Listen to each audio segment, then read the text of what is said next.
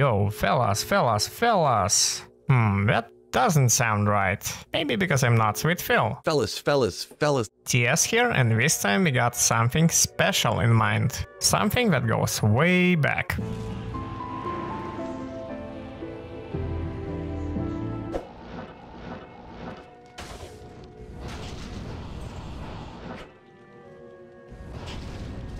Yeah, boy. Yep, it was this wonderful mod developed by Senpai and his team that got me back into looting fancy things after all these years. Anyways, the past has passed, now let's talk about the present and the drops we got today.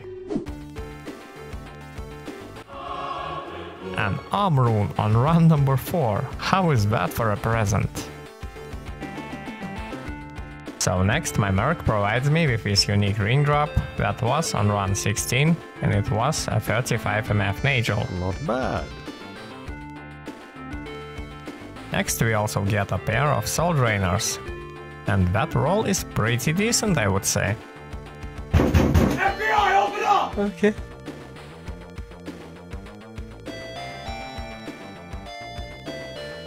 Then we get a casual Jungle's belt on the 18th run.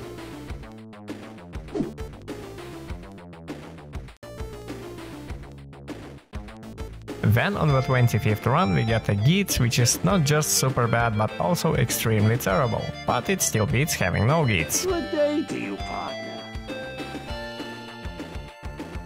Larzuk's puzzle piece drops on the 29th run, and it can be used to add sockets to your magical, rare, crafted or even normal items. And the loot filter just saved me from not picking up this absolute unit of a small charm. Thanks, Kryszard! Now this next drop will most definitely bring joy to my Merc. Oh my god! A Veil of Steel, and he'd better put that to good use. Next we get our second unique piece of jewelry on run 62. Which turns out to be above average Raven Ravenfrost.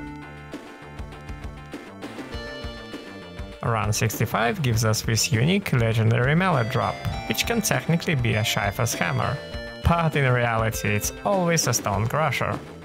no, no, no, no.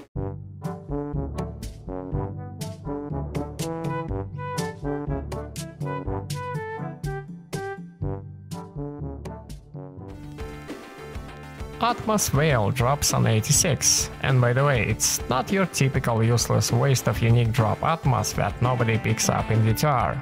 It's actually a pretty decent armor inside the realms of PD2. Also on the very same run, but just a bit later, we get a Vex. Damn, son, where'd you find this? I can sense Tal Rasha's presence. Followed up by getting one of the few Tal pieces that actually matter. We get the chest on run 87.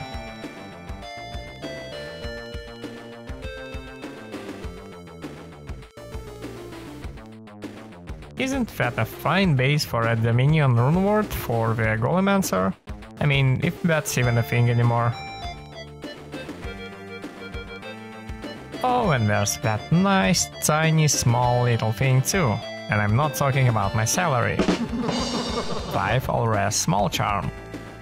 As we now approach our final drop highlight of this session, I want to inform all of you that I finally have my own Discord setup.